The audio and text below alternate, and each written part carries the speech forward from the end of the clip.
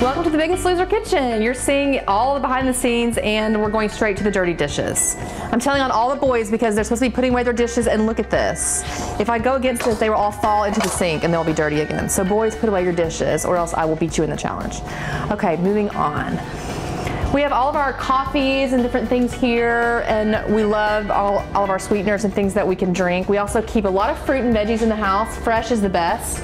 And we love to make sandwiches and different things that will fill us up for our workouts. So we always have packs of Wholly Guacamole laying around.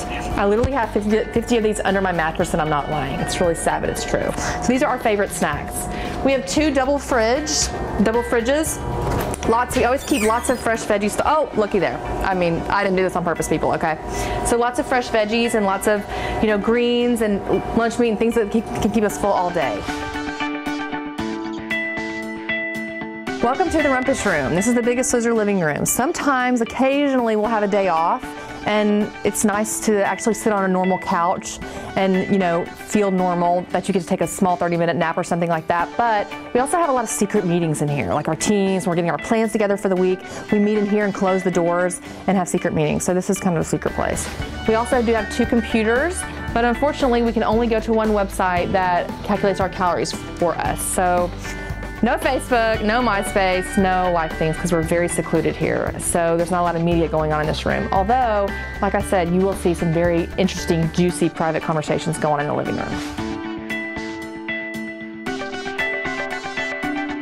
How about come upstairs and take a look at where we actually sleep, which is not really a lot of sleep, but there is some.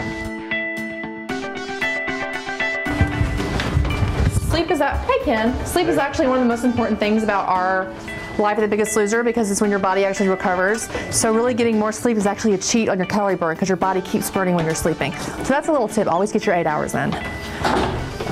It's very quiet up in here. That makes me a little nervous. I don't hear a lot of people. So this is our Biggest Loser hallway. All of our rooms have our names on them. So you see like Olivia and Hannah,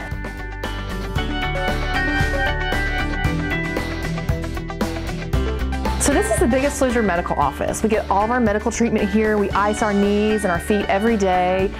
Sandy, who is our medical trainer, who is one of the show's biggest well-kept secrets, takes care of us and really just makes sure our bodies are healthy. He's there for all accidents. Every time I have a slip and fall, which is about three times a week, Sandy makes sure that we're okay. So we have all of our three tables. When we come in and ice, we heat.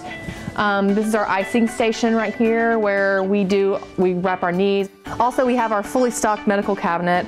I can never have a medicine cabinet like this. This is like the medicine cabinet that girls dream of. Every kind of fingernail file, every kind of tape, every kind of vitamin you can ever imagine keeps the biggest losers going strong every day. So this is the very spot that Dr. Huizenga, the biggest loser medical doctor, told Olivia and I that we're at high risk for diabetes. You know, our actual weight, um, our actual age was in the 70s, what we've done to our body. All that happens in this room right here. So at the beginning, this was a really scary room, but now that we're getting healthier and we're getting stronger, this is a great room to be in.